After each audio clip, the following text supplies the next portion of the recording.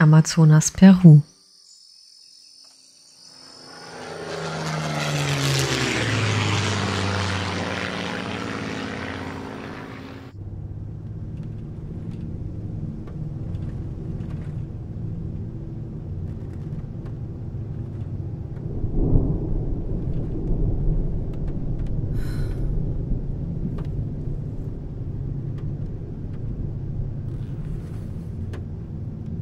Denke, dass wir nach einem Vulkan Ausschau halten müssen.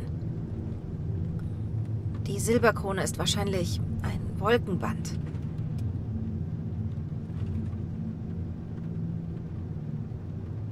Die ganze Zeit muss ich an diese Menschen denken. Sie haben alles verloren.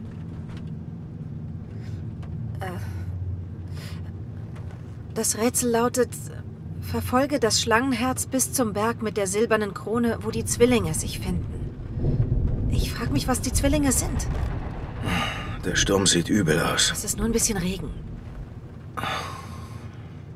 Wir konzentrieren uns auf den Berg mit Wolken. Ein Berg mit Wolken. Wenn wir ihn finden, woher wissen wir, dass er es ist? Bauchgefühl, denke ich. Andere Hinweise haben wir nicht. Der Wandmalerei nach kommen noch mehr Katastrophen. Am besten helfen wir den Menschen, wenn wir die Katastrophen und Trinity aufhalten. Okay. Aber können wir ganz sicher sein? Jonah, während ich vorhin den Dolch in der Hand hielt, Du meinst das Beben vor dem Tsunami? mehr als das. Es erschien mir, als hätte ich etwas erweckt. Ich weiß, das klingt völlig unrealistisch und ist schwer zu glauben, aber ich bitte dich, mir zu vertrauen.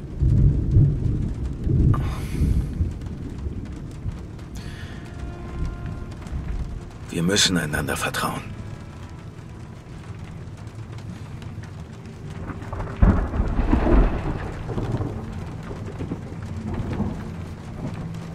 Hey, da drüben ist vielleicht was. Wirklich?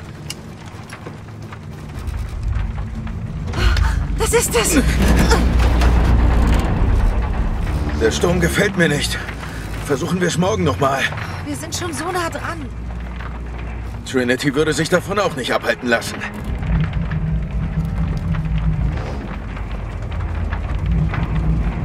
Miguel, kannst du irgendwo landen? Ja, ich kann euch bei Kuvak Yaku absetzen. Dann los.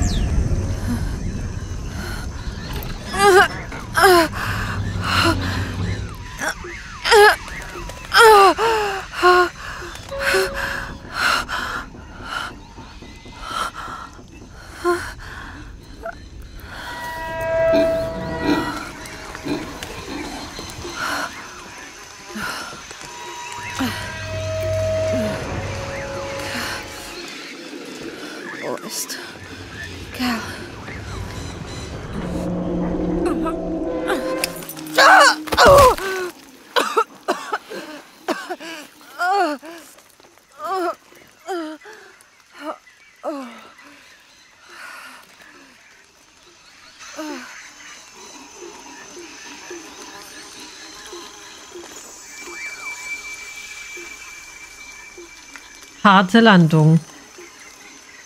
Ein Foto von Dr. Domi Dom Dominguez. Dominguez.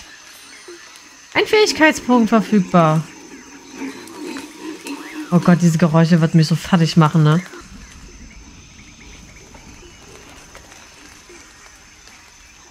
So.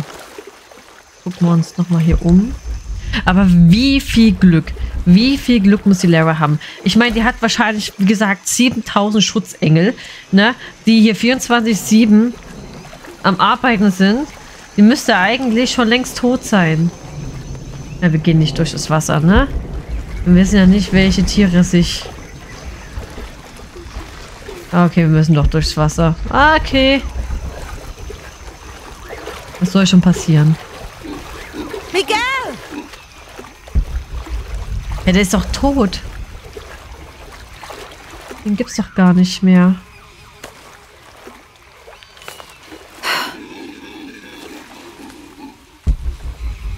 Aber diese Wildschweine machen mich echt fertig, ne?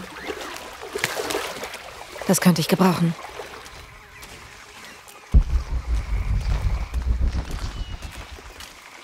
Mhm. Holz.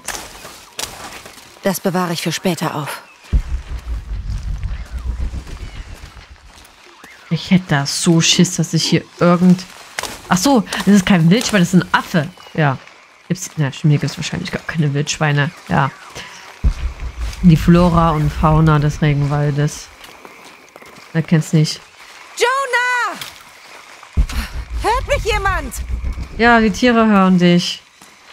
Hallo? Jemand da? Halt doch deinen Mund, Lehrer. Komm erstmal zu Kräften und dann machen wir uns hier einen Überblick. Wäre hier mucksmäusenstill, ne? Ich hätte so Angst, dass ich irgendwelche Einheimischen hier anlocken werde oder irgendwelche äh, Raubtiere. Ich würde so heulen, ne? Wo sind sie? Ja, die Ich sind- muss sie finden. Ja, aber woher willst denn du wissen, dass die auf der gleichen, also dass die noch leben, ne? Das Flugzeug wurde in zwei gerissen. Der ist wahrscheinlich jetzt keine Ahnung und mehr.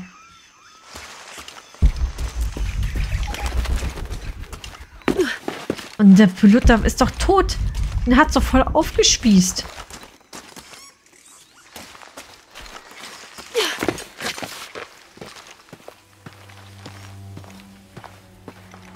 Der Berg mit Silberkrone. Ich bin fast da.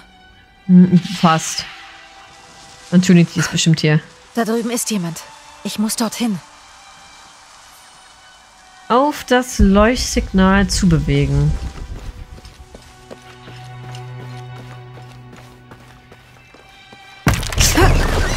Hat mich erschrocken. Oh, Papagei. Ich liebe Papagei.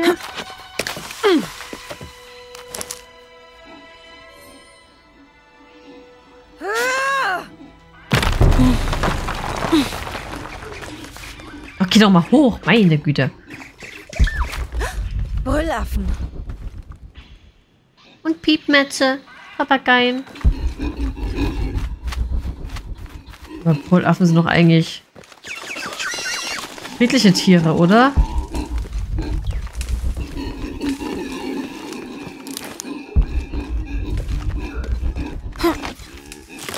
Auch erstmal wieder einen Bogen. Oh, ein Lager. Ein Feuer. Hier muss jemand sein. Hallo? Jonah! Miguel! Hört mich jemand? Wo seid ihr? Als ob die es alle überlebt haben. Oh, ja. Was sind hier? Lara Croft. Ach, hier sind wir und das müssen wir hin. Gottes Willen. Neues Basislager entdeckt.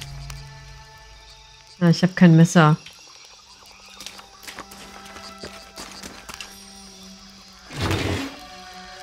Das ist das Logbuch unseres Flugzeugs. Miguel hatte sich Notizen über die langfristige Wettervorhersage gemacht. Die nächsten drei Tage sollten heiß und trocken werden, mit Höchstwerten um die 30 Grad, klarem Himmel und wenn überhaupt nur leichtem Regen. Angesichts seiner restlichen Einträge hätte Miguel uns niemals hergeflogen, wenn die Wahrscheinlichkeit eines schweren Unwetters bei über 50 Prozent gelegen hätte. Aber es waren keine Unwetter vorhergesagt, geschweige denn schwere. Hm. Hätte ich mich auch nicht freiwillig in ein Flugzeug gesetzt. Ich hätte nicht gedacht, dass der Sturm so heftig wird. Es ist alles meine Schuld. Wie immer. Ich hätte auf Jonah hören sollen. Ja. Ich Hättest hätte du- den Dolch niemals nehmen dürfen. Mhm. Ich hoffe, dass sonst niemand verletzt wurde und kein anderes Dorf zerstört wurde. Auch doch bestimmt. ich Fähigkeit. muss diese Katastrophen stoppen, bevor es zu spät ist. Fähigkeiten. Sura verbessert Laras Erkundungs- und Beobachtungsfähigkeiten. Krieger verbessert ihr Kampf- und Waffengeschick und Sammler verbessert ihre Heimlichkeit und Herstellungsfähigkeiten. Fähigkeiten freischalten. Wählen Sie Fähigkeiten aus einer blauen, roten oder grünen Box aus. Fähigkeiten mit weißem Rand wurden bereits gekauft und gemeistert. Dunkle Boxen werden freigeschaltet, wenn eine angrenze, angrenzende Fähigkeit gekauft wird. Manche Fähigkeiten werden in der Welt gefunden und sind nicht käuflich.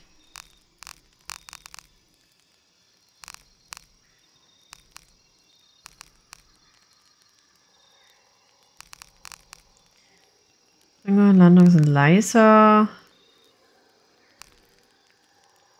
Sucher. Oh, ja, das ist auf jeden Fall Blick des Adlers, genau.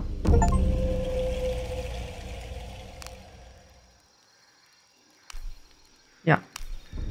Wichtig. Ein Fähigkeitenpunkt. Eile, sie können schneller schwimmen. Ohne Alarm auszulösen.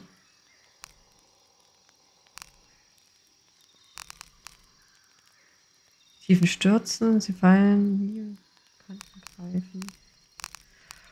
Oh, ich wäre fast für Schlag der Schlange führen sie lautlos Kills durch einen Alarm auszulösen, ja.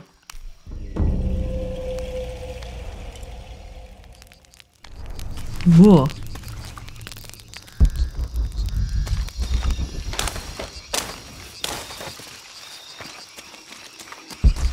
Ja. Ein Teil des Flugzeugs ist hier gelandet.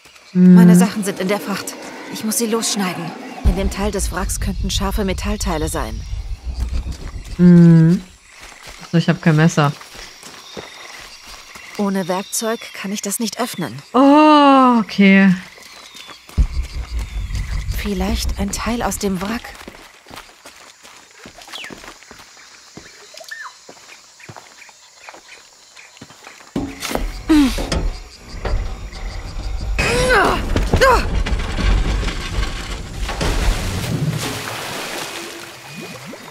Super. Okay.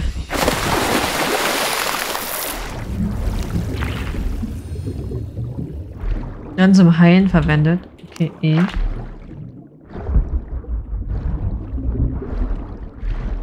E. Oh nee.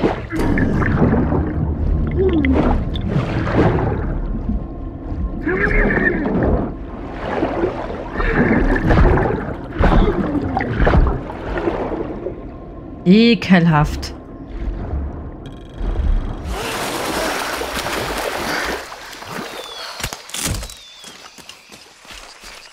Wirklich ekelhaft. Gut, aber es ist stumpf. Ich muss es irgendwie schärfen. Bergungsgut sammeln. Das ist ein Wildschwein. Nein, das sind solche. Oh, hier Capybaras oder wie auch immer die heißen. Capybara, da gab es ja auch so ein Lied von denen, ne? Capybara. Capybara, Capybara. Capybara. Hallo, meine kleinen süßen Vögelchen. Genau, was ich gesucht habe. Nur ja. ein bisschen zu wenig.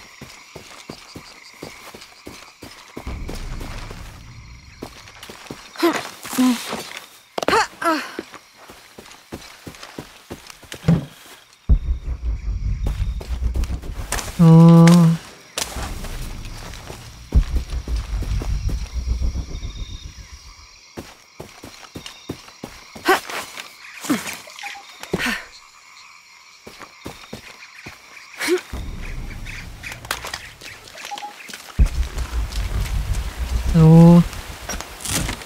Ich habe alles, was ich brauche.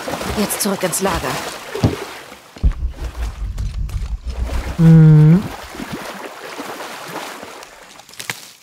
So.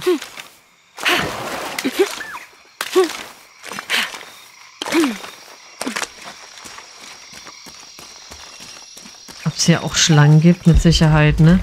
Hallo. Achso, ich komme hier nicht durch.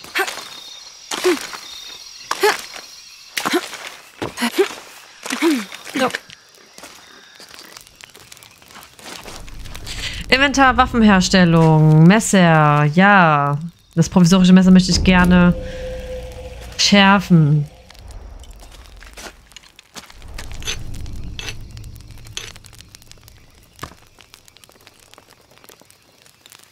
Das müsste scharf genug sein. Mhm.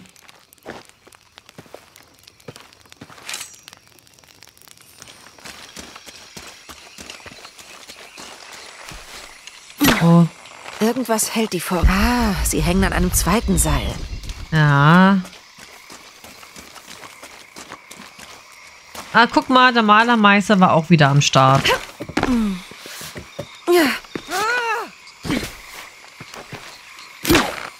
Ja, meine Ausrüstung, endlich.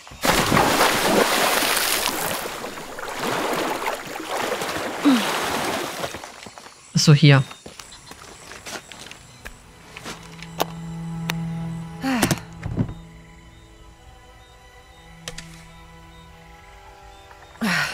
Warum habe ich nicht alles zusammengepackt? Nein, das machen doch Frauen immer, Lara. Miss Croft? Jemand da? Kommen! Miguel, wo bist Natürlich du? funktioniert's noch. Verdammt!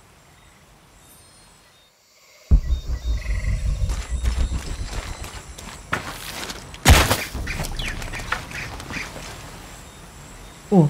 Ach so. Oh nein, warum muss ich denn hier Nester jetzt zerstören? Weißt du, ich komme hier. Entschuldigung. Das muss wahrscheinlich sein. Ne? Ich komme hier als fremder Mensch. Ne? Komme ich hierher. Und dann muss ich hier noch die Nester von den armen kleinen Dingern zerstören.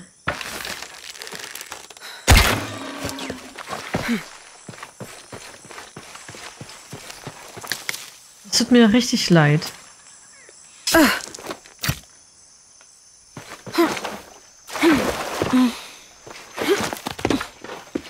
So.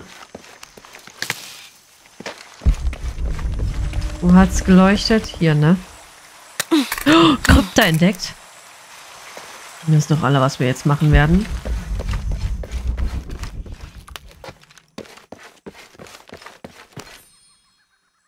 Cusco gehört Hernando Pizarro, dem rechtmäßigen Vertreter der spanischen Krone. Diego de Almagro wurde gefangen genommen, Rodrigo Orgones ist tot und der Rest ihrer ketzerischen Truppen wurde in die Flucht geschlagen. Wir hatten die Berge überquert und die Küste außerhalb Cuscos erreicht. Orgones stellte sich uns in Cachupampa, einer schlechten Wahl für seine Kavallerie. Seine Falconette brachten zwar Gonzalos Infanterieangriff ins Stocken, aber der Sumpfboden verhinderte, dass seine erfahrenen Reiter daraus einen echten Vorteil ziehen konnten. Unsere königlichen Arkebusiere überquerten den Fluss und entfesselten ihr Höllenfeuer gegen unsere Feinde. Pizarro und Orgones führten ihre jeweilige Kavallerie selbst ins Feld. Unter dem Gebrüll sämtlicher Männer bildeten sich zwei anstürmende Kolonnen, die in vollem Galopp aufeinander trafen. So etwas hatte ich noch nie zuvor gesehen. Orgones wurde im Chaos der Schlacht getroffen, vom Pferd geworfen und getötet. Der Feigling Almagro zog sich angeblich auf einem Esel vom Schlachtfeld zurück. Wie passend.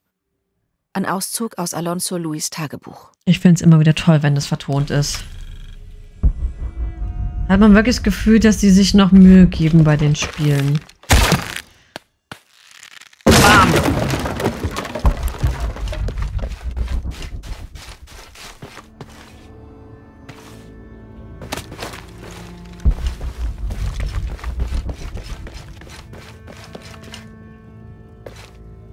Hm. Vorsichtig.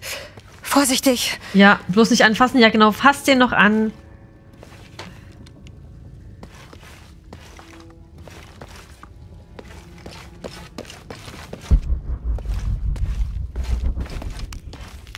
Keine Ahnung, wie ich die Pilze nehme, ne?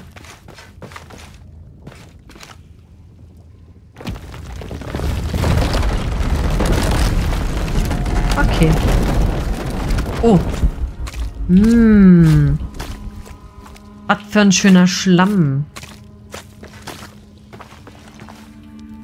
Wohin das wohl führt?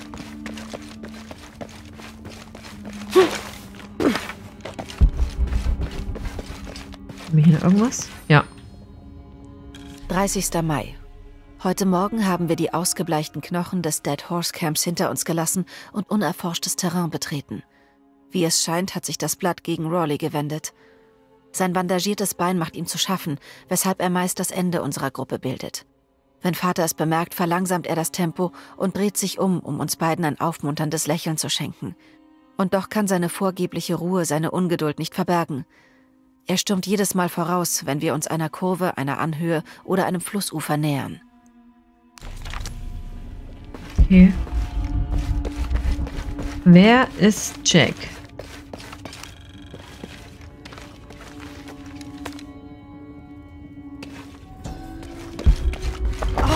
Scheiße! Oh ja. Möge Urku den Weg von diesem in das nächste Leben aufzeichnen, auf das wir alle in Sicherheit zu reisen vermögen. Hm.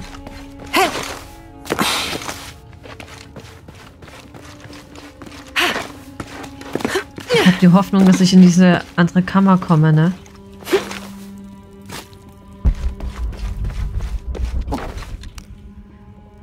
Das beschreibt eine verborgene Kammer in der Nähe. Ja. Ja, habe ich schon gesehen.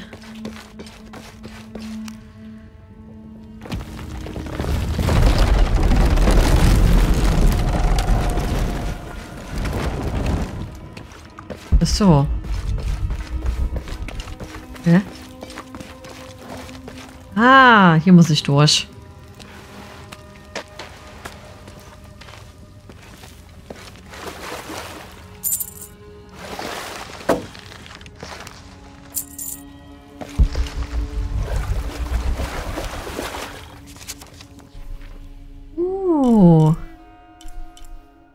Krypta, dann haben wir hier Basislager, gesträubte Gefieder. Ach, das wird die Herausforderung gerade gelegt. Dokument, oh schön. Dann gehen wir wieder raus.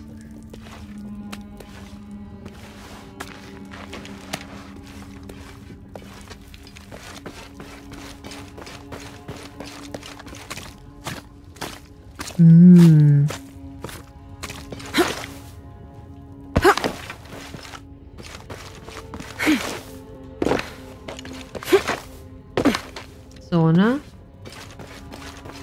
Hier, ge genau, von hier kamen wir.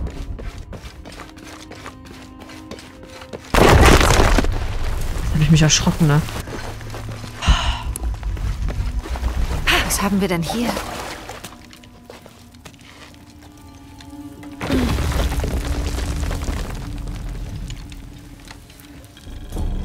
Überreste Abendsternstiefel. Stiefel mit Federn, die das Sage nach eins von Königin Abendstern. Okay, Outfit-Herstellung. Ja, danke.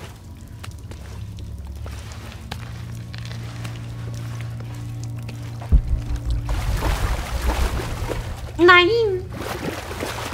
Ach, schade. Das muss der Weg nach oben sein.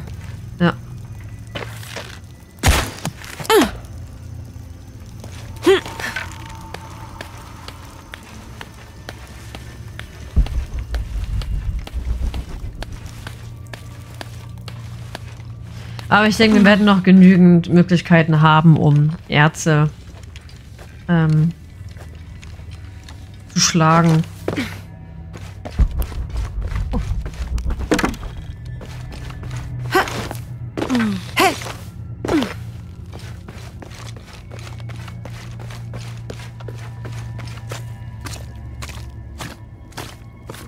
Hm, da geht der ga- ganze Schlamm schön in die Stiefel rein, ne? Uh, ja, fass doch den Arsch an. Ja, der äh, Lehrer, kein Problem. Ja, streichel noch mal drüber. Zum Abschied. Ja, das ist ja. hm.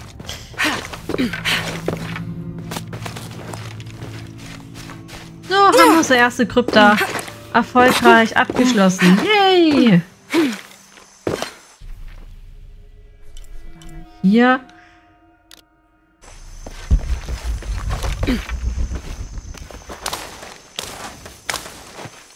war das? Unten?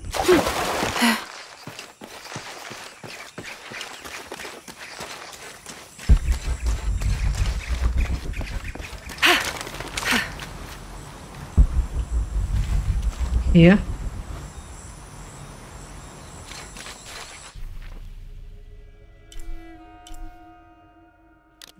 Einfach mal.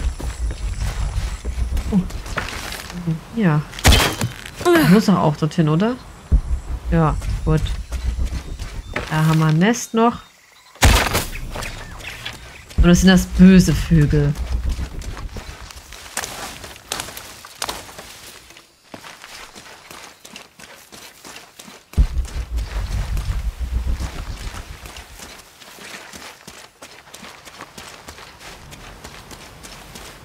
Oh, nein!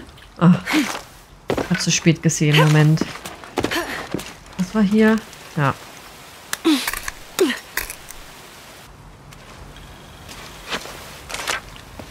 Hm. Höhen verwest. 9. August. Ich lasse diese Seite hier zurück, um jegliche Fragen zu klären, falls mich auf dieser Suche dasselbe Schicksal ereilt wie die restlichen Mitglieder meiner Gruppe. Mein Name ist Jack Fawcett. Ich bin am 20. April 1925 mit meinem Vater Percival Harrison Fawcett und meinem besten und ältesten Freund Rawley Rimmel in Chuyaba, Mato Grosso aufgebrochen, um nach Seth zu suchen. Ich bin als einziger von uns noch am Leben. Mein Vater fiel zwei wilden Dschungelkatzen zum Opfer. Rawley starb durch unsere Sorglosigkeit. Ich selbst bin am Ende meiner Kräfte, weigere mich aber aufzugeben. Mein Vater war überzeugt, dass wir ganz in der Nähe von Seth sind, und ich teile seine Einschätzung. Also lasse ich zwei Gräber zurück und gehe weiter nach Westen, in der Hoffnung, nicht in mein eigenes Verderben zu laufen. Och man, der Arme. Der Arme. Tut mir schon ein bisschen leid.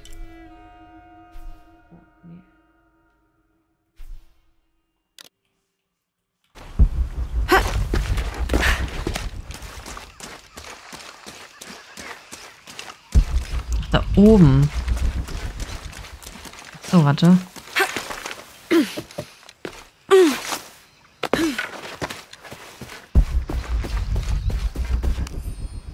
Ein Sextant. Dieses Instrument diente im frühen 19. Jahrhundert zur Navigation nach den Gestirnen. Es wurde benutzt, um den Winkel zwischen einem astronomischen Objekt und dem Horizont zu messen. Hm. Da ist eine Inschrift. Für meinen Sohn Jack. Oh, Mögest du den Horizont nie aus den Augen verlieren. tja. Er hat den bestimmt verloren.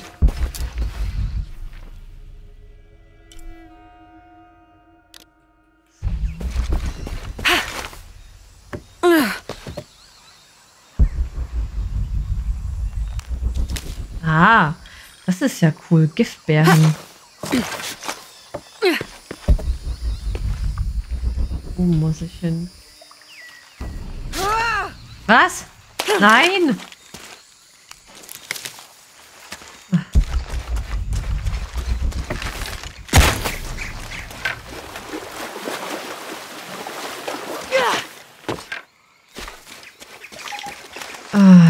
Ah, äh.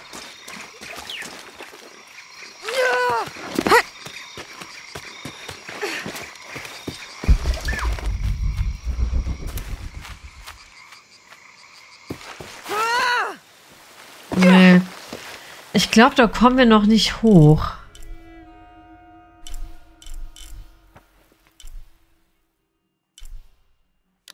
Wir versuchen noch das Relikt mitzunehmen.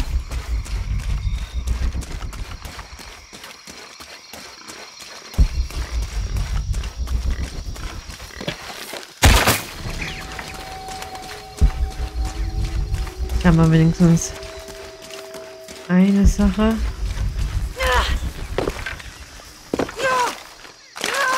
Geschlossen.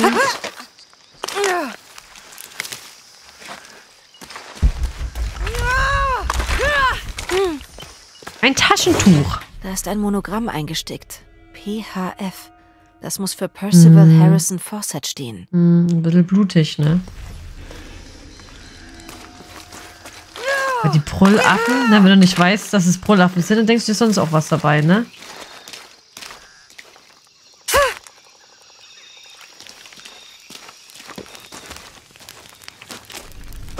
Fähigkeiten. Ein Fähigkeitenpunkt.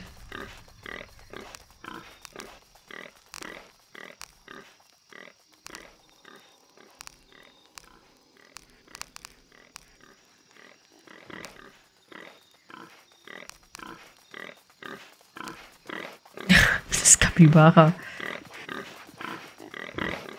Zielunterstützung. Ja, nehmen wir das einfach noch mit, ja. Inventar, Upgrades herstellen. Waffen-Upgrades benötigen Waffenteile, Ressourcen, Fähigkeiten, ja. Ja, das kennen wir ja schon. Ja. Ja, verstärkte Arme.